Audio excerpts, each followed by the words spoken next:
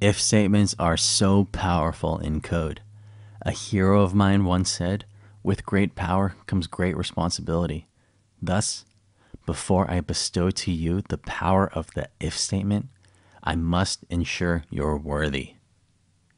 So, we're going to play a fun little game with comparison operators. And by fun, I mean painful. I'm going to break you. Here's how the game works. Up on the top of your screen, you'll see a bunch of variables. I'm going to write a code statement that uses these variables with the comparison operators we just learned about. You need to pause the video, evaluate the code statement, and tell me if it's true or false. Ready? We'll start off with an easy one. Take a look at this line of code, pause the video, and tell me if it evaluates to true or false. By the way, I'm purposely making the font size small because the code is going to get a lot more difficult soon.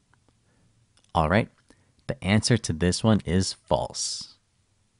Our lucky number variable is 7 and the unlucky number variable is 4. 7 does not equal to 4, so this statement is false. Next up, this one's a little more complicated. Pause now and tell me if it's true. Let's evaluate this statement one step at a time. First, we'll substitute in actual numbers instead of the variable names. Then we finish up all the math. We're left with 7 does not equal to 7. Clearly, this isn't true. The answer is false. Here's another quiz. This time, we're using the OR comparison. Is this statement true or false? Substituting in our variables, this statement becomes true or false. Since at least one of the two values in an OR statement need to be true, this ultimately evaluates to true. Great. Let's take things up a notch in difficulty now. Those were pretty easy. Here we go.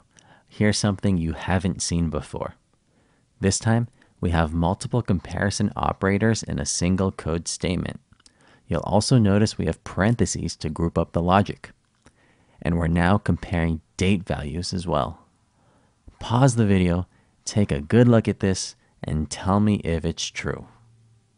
Let's break this down. Our variable on the left is true. Our comparison in the parentheses is also true.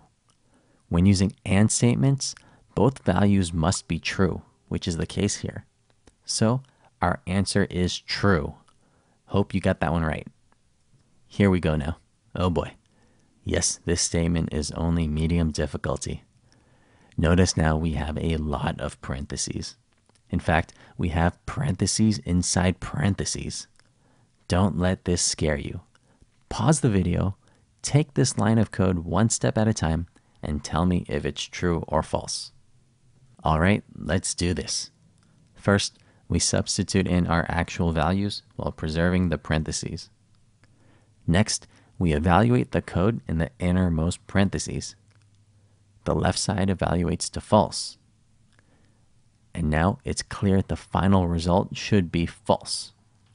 No matter how daunting a code statement might look, as long as you tackle it one step at a time, each time in small bite sized pieces, you'll eventually get to a straightforward result. This philosophy really applies to many things in code and in life, actually.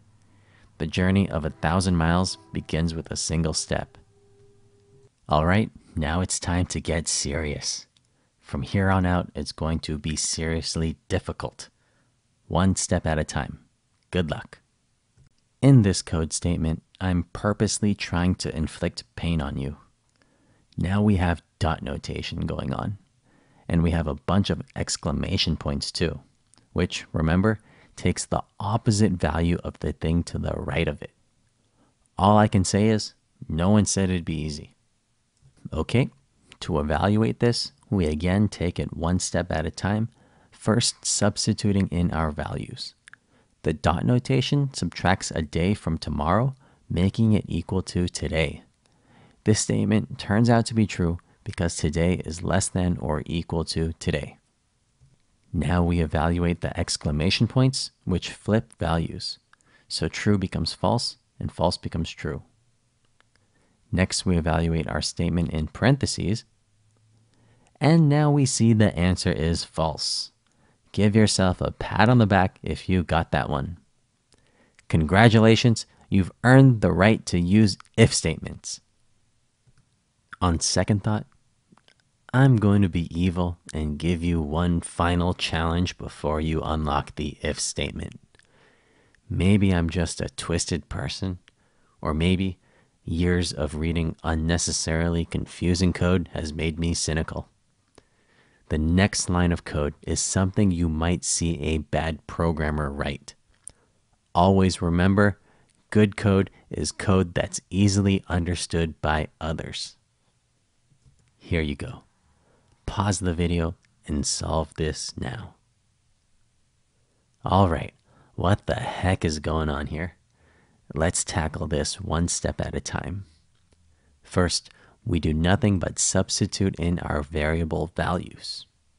Next, let's flip this to true because it has an exclamation point by it.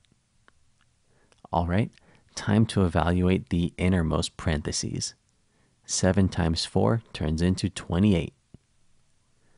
We continue evaluating everything inside parentheses before moving forward. And now we flip the value on the left again because of the exclamation point. And finally, congratulations, we evaluate this statement to false. Bum da da dum. You've unlocked the if statement. If you can tackle these comparisons, you can tackle any comparison. I really mean that. And comparisons are the hardest part of if statements.